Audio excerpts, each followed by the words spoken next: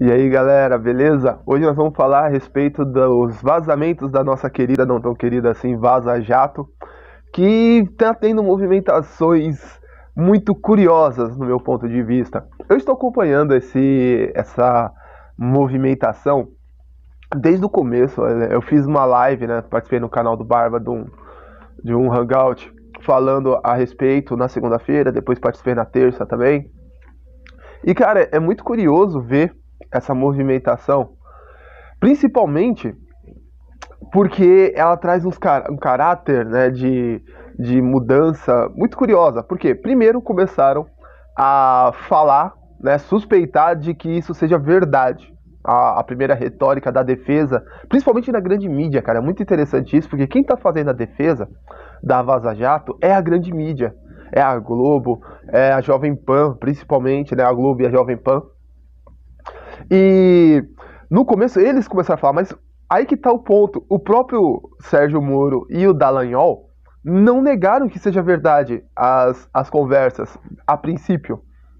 Depois eles começaram a fazer uma movimentação para descredibilizar as mensagens em si, porque elas foram conseguidas de forma ilícita, né, sem autorização das pessoas. E aí, se for hacker ou não foi hacker, não importa, tá? O fato é, foi conseguido sem autorização, de certo ponto de vista é ilícito, ponto final. Mas eles estão jogando muito isso, né? Falando, não, isso não vale, porque foi conseguido de forma ilícita tal.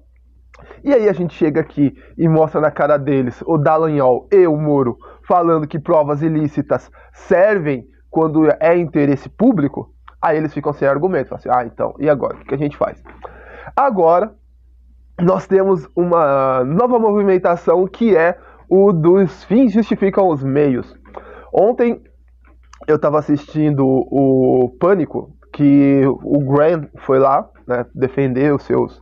falar a respeito da matéria, e ele foi atacado de todos os lados, principalmente pela Vera Magalhães, eu acho que é esse o nome da repórter, e, e, sempre ela batia nesse conto assim, ah, mas a Lava Jato, e o Emílio também falava isso, a Lava Jato prendeu muita gente, ah, mas a Lava Jato limpou a corrupção tal, como se isso justificasse o Moro ter cometido um crime, tá? Lembrando que eu, é, eu, depois eu fui ver, ontem no meu vídeo, eu falei que ele cometeu uma contravenção, que era no caso do artigo 254 do Código de Processos Penais.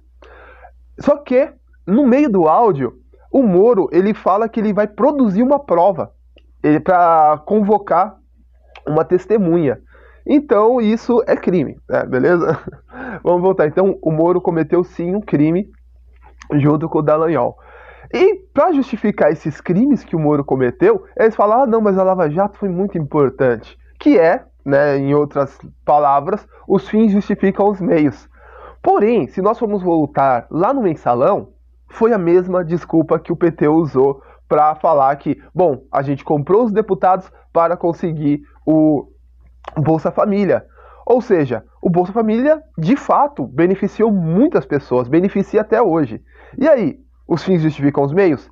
Se os fins justificam os meios, então vocês não deveriam nem estar investigando o Lula, pois o Lula foi o presidente que mais distribuiu renda no Brasil. Foi o presidente que tirou uma, muitas pessoas da linha da miséria. Se eu não me engano, na época do Lula tinha sido erradicado a miséria no Brasil. Agora voltamos, né? Fazer o que, né? Governo neoliberal é isso. Então, se os fins justificam os meios, por que, que vocês estão perseguindo o Lula? Né? Fica aí a questão para vocês, mano. Então preste atenção no que vocês vão falar. O Moro, ele caiu, mano, já era, perdeu o Playboy. Ele não tem mais argumento, ele cometeu um crime, o Dallagnol também.